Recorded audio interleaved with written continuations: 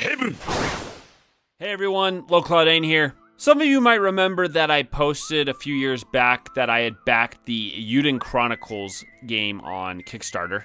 I am a PS2 era JRPG fan, and there's no way around it. And seeing the creators of Suikoden go at it again was probably one of the coolest things I had seen in 2020. Well, something exciting just happened recently, and that is that the creator of the Wild Arms franchise and the creator of the Shadow Hearts franchise are coming together to start a Kickstarter. Now, this has been going on for a week or so already, and they've already hit their goal. But for anyone who grew up with the PS2 era of Japanese RPGs and hates the fact that they really just don't get the love they deserve, you really should go and back this right now.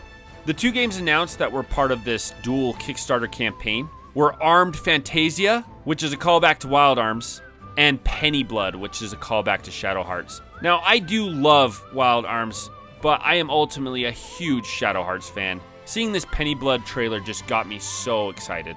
Looks like they're gonna pull from all the same classic features that were in that game. They got kind of this Ring of Judgment style thing going on, fusions. It's all set in early 1900s America and has that gothic vibe that really just made all the games so kick ass. Armed Fantasia looks awesome too. I'll be really interested to see what kind of game mechanics they're going to pull here. I think since the early 2000s, we've learned a lot about how to make really good turn based RPGs. I think the Persona series, Dragon Quest XI, and probably a hundred different indie games have really proven out that you really can make this mechanic a lot of fun without feeling like it's wasting your time.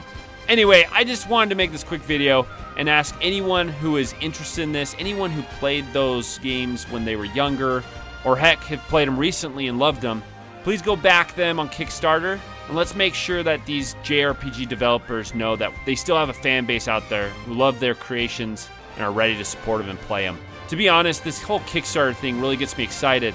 I feel like it gives developers a lot more freedom to make new and exciting things Whereas larger corporations are always more concerned about popular trends and what's going to end up selling the most. So yeah, if you're if you're like me, going back it. I think it ends at the end of September, so make sure you go there quickly. I'll have a link to the backer website and the trailers in the comments below.